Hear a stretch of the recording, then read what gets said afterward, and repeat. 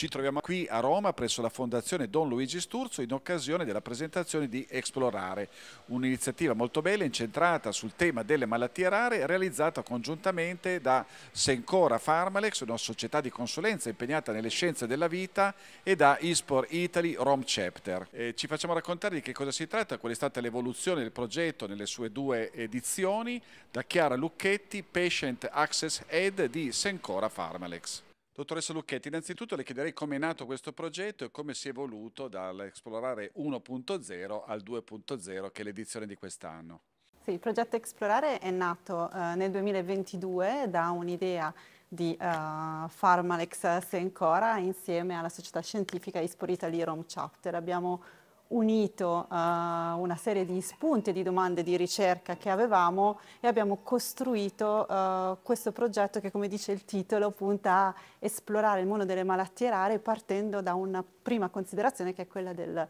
um, se la scienza ci mette a disposizione delle opportunità terapeutiche il sistema deve velocizzare quanto più possibile il percorso che rende queste terapie uh, accessibili. Quindi la prima edizione siamo abbiamo avuto un punto di vista osservativo, quindi siamo andati a vedere quanto tempo ci mettono i farmaci per malattie rare ad essere approvati dalle nostre agenzie regolatorie e perché uh, potrebbero metterci anche più tempo magari rispetto a farmaci tradizionali eh, pur avendo magari eh, dando risposta a un bisogno terapeutico più eh, elevato e abbiamo visto che eh, in questo percorso ci sono diverse incertezze che sono date dalla natura delle malattie rare, dalla tipologia di farmaci e di studi clinici che, eh, sottostanti. Quindi il primo esplorare ha avuto un approccio osservativo.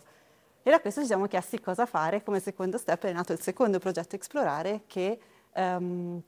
ha voluto uh, dare un taglio più di governance, quindi siamo andati a costruire un horizon scanning uh, per andare a vedere effettivamente quali potrebbero essere i farmaci in arrivo per uh, malattie rare, che tipi di criticità possiamo già vedere che potrebbero rendere più complessa la valutazione e dall'altra parte quale impatto di spesa potrebbero eh, generare e eh, per rispondere anche alla domanda cosa il sistema si deve trovare a eh, gestire per poter dare una risposta terapeutica ai pazienti. Ne è nato un bellissimo report che chi è interessato ad approfondire potrà scaricarsi dal link appunto, evidenziato qui a fianco dell'intervista. Ecco, volevo però chiedere come è stato organizzato. Eh, se ancora Pharmalex ha avuto chiaramente un ruolo di primo piano non solo nell'ideazione ma anche proprio poi nella gestione dei gruppi di lavoro, come hanno lavorato questi team e chi ne ha fatto parte? Sì, allora il, il progetto effettivamente, come eh, potrà vedere chi leggerà il report, ehm, è stato eh,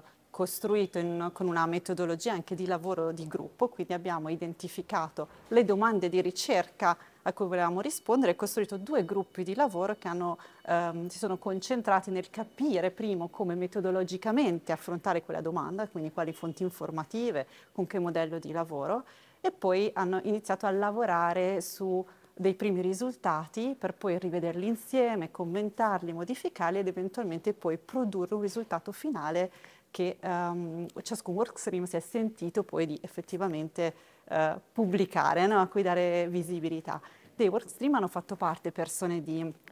della consulenza di Sencora Pharmalex, um, persone dell'industria, di società scientifiche come ISPOR Italy Rome Chapter, che eh, è stato collaboratore sul progetto, ma anche per esempio di SIFO attraverso una rappresentanza di SIFO, eh, di SIFO Giovani. Quindi sono stati gruppi di lavoro multidisciplinari che hanno unito non solo lo sforzo concettuale, ma anche veramente diverse competenze. Abbiamo anche avuto il supporto di alcuni clinici eh, che ci hanno fornito alcune risposte che non riuscivamo a trovare ehm, diversamente. Ehm, si sono riuniti diverse volte con degli appuntamenti cadenziati anche abbastanza stringenti e, e anche insomma, abbastanza impegnativi, però il risultato finale ci ha dato veramente molta, molta soddisfazione perché è stato uno sforzo collettivo eh, impegnativo, tutto per traguardare anche un risultato interessante in un tempo breve e controllato, che penso sia la sfida più, più grossa. Senta, state già pensando a esplorare 3.0? Stiamo pensando a esplorare 3.0 perché